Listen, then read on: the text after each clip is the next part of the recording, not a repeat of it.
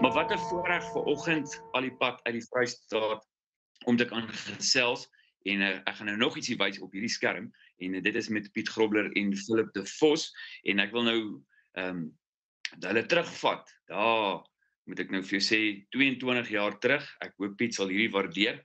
Ons het 'n besigheid gehad geblikte Afrikaans.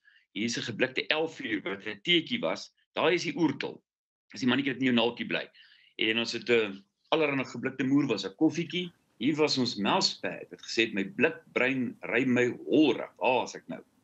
Ehm um, watter voorreg was dit daai jare uh om vir Piet Grobbe te kon kontak en ek kon nie glo ons kon dit regkry dat hy ons ontwerp gedoen het van al ons produkte nie. So goeiemôre Piet, hoe gaan dit? Goed, ja, Jornay, môre. Goed om jou weer te sien. Baie, ja, yes, ek baie spyt ek is nie daar om ten minste blad te skud nie. Ek het jou laas in in die gym raak geloop voor jy net weer oor see was. So ja. is fantasties om vanoggend met jou te kan gesels. Philip, goeie môre van my kant af ook. Hallo Jorne.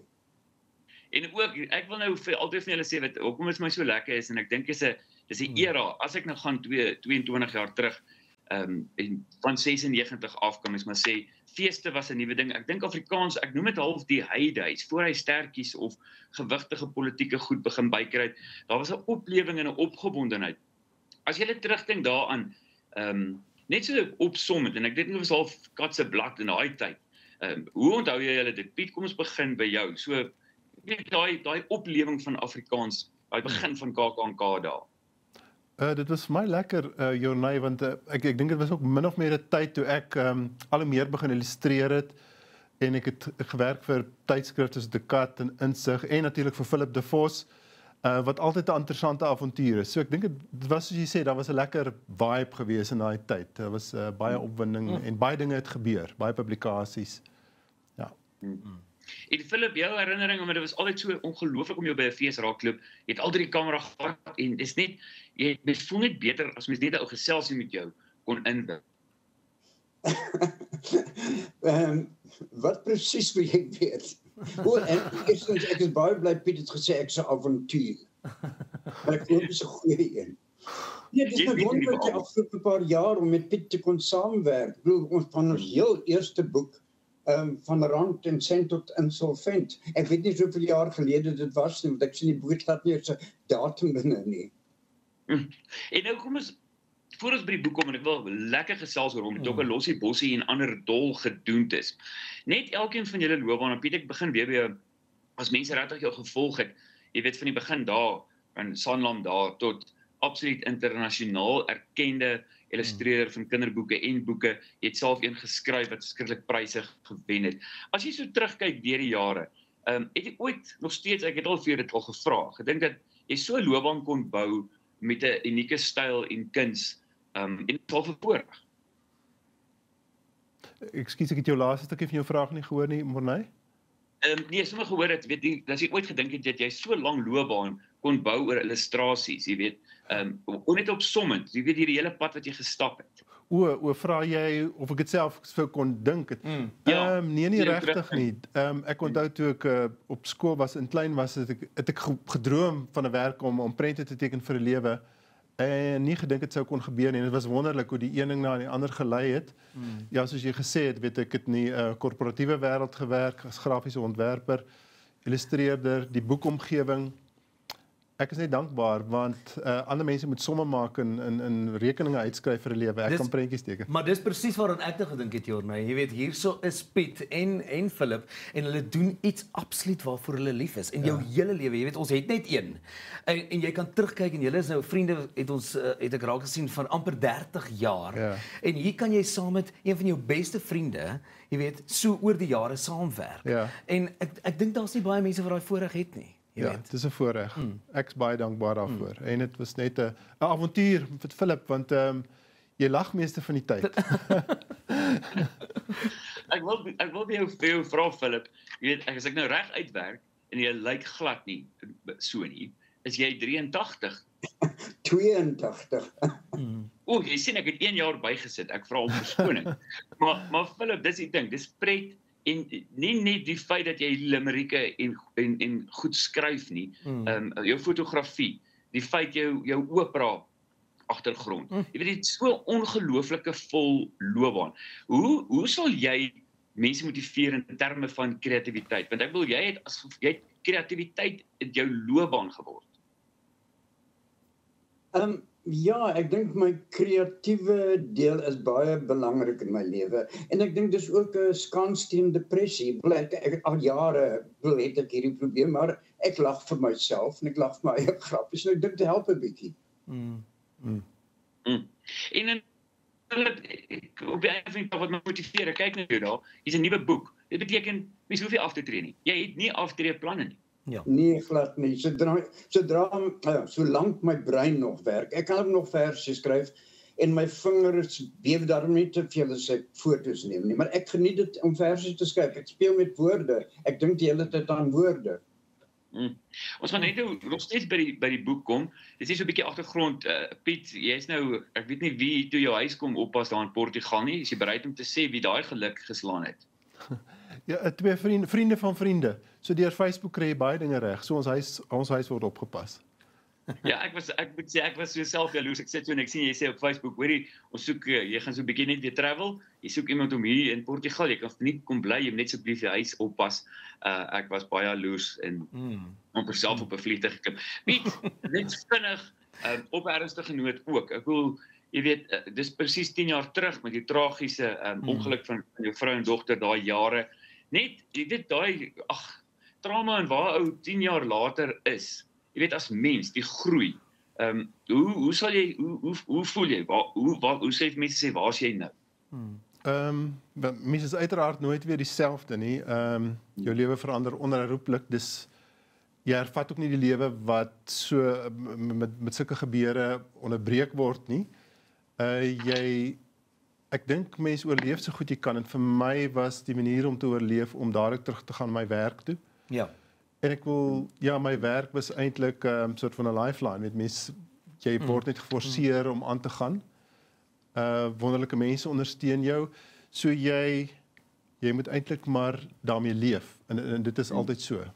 Ehm um, Miskien kan ek ook net hier inkom. Ek kyk nou gisteraand na die string en ritse toekenninge wat jy al gekry het, Piet. En ek ek moet jou sê dis my groot voorreg om saam met jou in een vertrek te sit want dit is waaragtig 'n uh, klomp toekenninge in oor jou lewe lank en en ek praat nie eens van Philip en al sy wonderlike toekenninge nie. En dan lees jy iets raak soos dat jou vrou en dogter ehm um, oorlede is 10 jaar gelede in die motorongeluk. En jy dink by jouself, maar hoe gaan mens aan?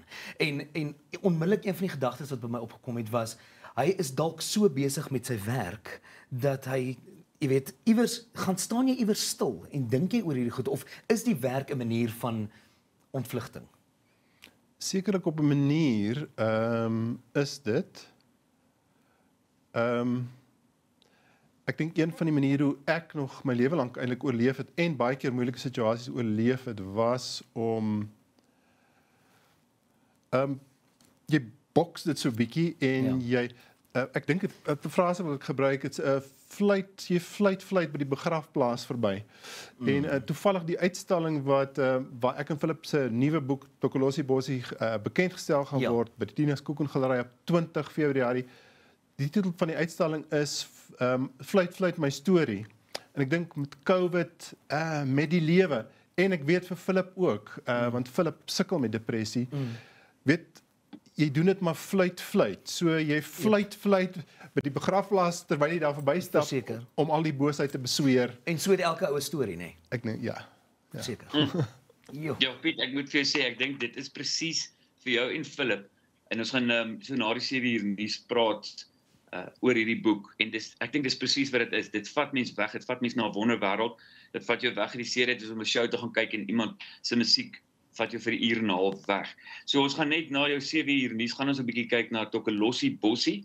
Um en ander dol gedoentes ek wil uitvind oor as poestertjie met stinktekkies en dan ook een van die mooiste sinne wat ek in 'n lang tyd gehoor het is om uh, uit te vind van die land waar elke voeltjie sy eie lied het. Terwyl ek dit oh. sê, sit ek hier met 'n mossie um, in een van die ander vertrekke wat elke oggend, ek weet nie, hy tik in die ry die hele tyd. So soos dit is toevallig Um, en hy wil nie inkom nie, maar ek ook ek weet nie of hy vir homself kyk of sy nie, maar uh, dit pas so mooi in. So ja. ons gaan nou verder self met bly skakel dan vir 7 uur nuus en weer. Welkom terug hier by die groot ontbyt as jy net ingeskakel het. Ons gesels met Piet Grobler en Philip De Vos dis oor 'n nuwe boek Tokolossie Bossie en ander gedoentes. En as jy die eerste deel gemis het, dan kan jy al hierdie onderhoude op YouTube vang en ek praat nou ek wil Philip kyk die prys wat hy gewen het is van Eugene Maree pryse, internasionale pryse vir Piet en uh, as jy dit gemis het, hier was 'n uh, ek dink wat ons gedoen is my enigste klein to fame in die lewe oergedigte. Dis die oertel wat nie joernaal bly. Is dit ek en my swaar die eerste Afrikaanse digbundel gaan besit vir nog so 30 jaar. Ek dink dis wat nie oortuig het om ons illustrasies te gedoen het 22 jaar terug. En uh, ek wil dankie sê vir my span dat ek hierdie onderhoud kan doen. Maar toe ek hoor is julle en ek is nie daar nie, het ek hm. amper 'n koroner geskiet. amper soos 'n of dit ook in 'n 'n limerick kan wees. So kom ons begin. Piet vinnig Tokolossie Bossie en ander dolgedoentes. Jy weet van die eerste tyd wat jy saam met Philip al gewerk het, ehm um, jy weet hoe het julle aan hierdie konsep gekom en uh, hoe het julle hom ontwikkel? Ehm um, hierdie is Philip dit is eintlik maar Philip se konsep. Philip skryf aan mekaar versies kompulsief. Mm. Ehm um, en ek sien ek um, ek het ek het bietjie aan hom geneel en gesê dis tyd dat ons weer 'n boek saam doen, maar ek dink ook ander mense het vir hom gesê Philip want ek weet so met die met al die lockdowns en goed ehm um, ja, mm. uh, ek dink ek was dit was Philip ook iets om te doen en 'n lekker uitlaatklep En hy skryf maar altyd, hy kan hom nie help nie by die gym oral. en uh, ek wou ook iets doen wat wat lekker en spontaan kom en en as ek saam met Philip werk, is dit altyd of ek ek kan ontspan en dit kom baie natuurlik vir my. Ook die soort mm. van ding. Um, Philip, ek wil by jou ook hoor en ek sal dit verskriklik geniet as jy vir ons 'n bietjie van hierdie boek kan voorlees. Ehm um, jy weet som hom vir ons op, want dit is vir kinders, dis van 9 plus dis vir ma's, dis vir oupas en dis ons julle leer ken dit ook as julle so saamwerk. Almal geniet julle boeke. Uh um, so waaroor gaan ook 'n losie bossie en die ander dol gedoen het. Wat is die konsep? En ons gaan net 'n bietjie net weer oor die illustrasies praat hoe Piet se proses werk en hoe sien hy hierdie mm, karakter. Mm, mm. So vertel vir my sommer net oor die boek, Philip. O, oh, jemmel. Dit is ehm um, stukkies en brokkies wat ek oor die jare geskryf het en Piet het ook my vra waarom het ons nie weer 'n boek saam nie. So ek sê ek het baie versies ontdek wat ek baie baie jare gelede geskryf het en uh, onlangs het ek weer baie geskryf. En die vreemde ding is as ek na die gym toe gaan en op daai fiets sit en kom die idees waar dit vandaan kom, weet ek nie. Dan gaan ek wys hoe skryf nee. ek het ek het so gedink met lees die versies in die selfoon, dit kan nie vergeet nie. Dis tog ek is is is vir jouself. Dis is so lekker. Hier is 'n inspirasie vir ons almal wat net vanoggend kyk en nie met jou gesels. 82 en jy gaan nog gym toe. Jy hou aan werk. Hmm. Ehm um, net iets verskrikliks. Frans wil jy wou iets vra? Nee, nee, ek sê ek en ek toe Piet nou sê Philip is by die gym wat hy die versies so skryf. Toe dink ek vir myself, genade, ek sien hom nou al daar met daai gewigte wat hy so optel in plaas van om te vloek. Uh, as dit so swaar is, dan skryf hy maar liewer 'n versie, 'n mooi versie.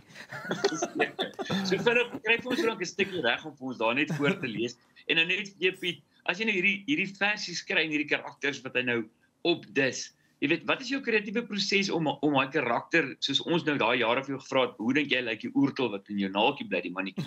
Um, jy weet, hoe kom jy op hierdie karakters af? Want hulle hulle leef. Nee. Eintlik weet ek nie, uh Jornay, ehm um, ek dink dit kom vreeslik natuurlik, veral veral na lang tyd. Ehm um, maar partykeer doen ek dit so 2 of 3 maal oor, sê maar ek so so 'n bietjie krabbel. Ja. En dan voel ek nee, as ek nou net hierdie ding versie lees, voel hierdie nog nie vir my reg nie. Val op jou tong. Ja, mm. dit dit is 'n baie ek sê baie natuurlike spontanerige manier van hoe die ding vorm kry. Mm. Verbeel. Ek wil net nog 'n pleintjie vir jou kyk eh, deur al die eeue in Afrika weet ons die Tokolossie is daar.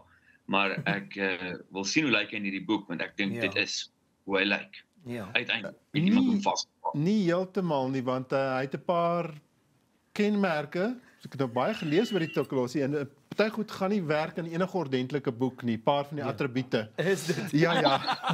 Nee, ek het maar 'n bietjie gesensor, hoor, ek het terughou. Wie het ek terughou? Hy ja, jou bed is nie verniet op bakstene nie en ek moet sê dit is so kindervriendelik ook. Um, ons gaan net vinnig uitvind waar is die bekendstellings waar gaan mense om in die hande kan kry? Ek dink is oral beskikbaar. Philip, het jy vir ons ietsie om voor te lees? Ja, ek gaan die Tokolossie versie lees en ek hoop ek gaan dit reg lees. Hier is dit. Daar's 'n rooi kop tokolossie in die tokolossie bossie en dit dra sy harde dol graag na tokolossie klossie, maar blyk tog liewer ver weg van die rooi kop tokolossie met die tokolossie klossie, want anders word jy dalk is dalk 'n tokolossie klossie nie rooi tokolossie, maar die tokolossie klossie en die tokolossie tokolossie tokolossie bossie daar sy.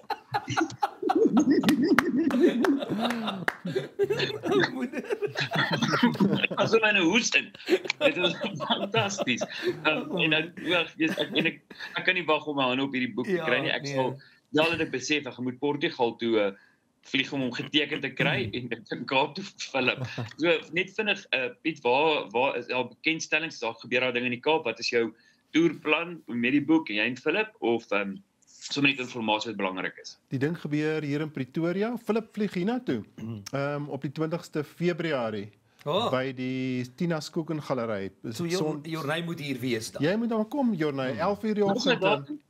20ste Februarie. 11 uur die oggend maak ek maak hier huisie ag nota ja skus Piet ek jou nie rede nee dan sit die bekendstelling van die boek en dis uh, ook die opening van my uitstalling fluit fluit my storie maar die grootste deel van die van die werk wat ek wys op die uitstalling is die illustrasies ek gesê twee derdes daarvan is illustrasies vir hierdie boek mm, mm. wat gewys word plus nog ander illustrasies of halwe stories in my kop ag fantasties mm. Hoorie baie baie dankie Piet wat ek ek wil sien jou maar ek sal jou graag weer in lewende lywe wil sien. Uh baie dankie dat julle met ons kom met ons kom kuier het na al hierdie toekenninge, die moeite doen om so vroeg opstaan. Ja. Philip, weer eens inspirasie jou loopbaan jy as mens. Um en dat jy weet ons lewe beter maak. So sterkte vir die res. Lekker travel terug Piet. Hooplik sien ek julle daar by die bekendstelling. Um en maak seker jy kry hierdie boek Tokolossie Bossie en ander dol gedoentes. Kersfees is verby. Jy koop hom nou al vir volgende Kersfees en elke Vrydag. Hierdie met rekord rekordgetalle verkoop.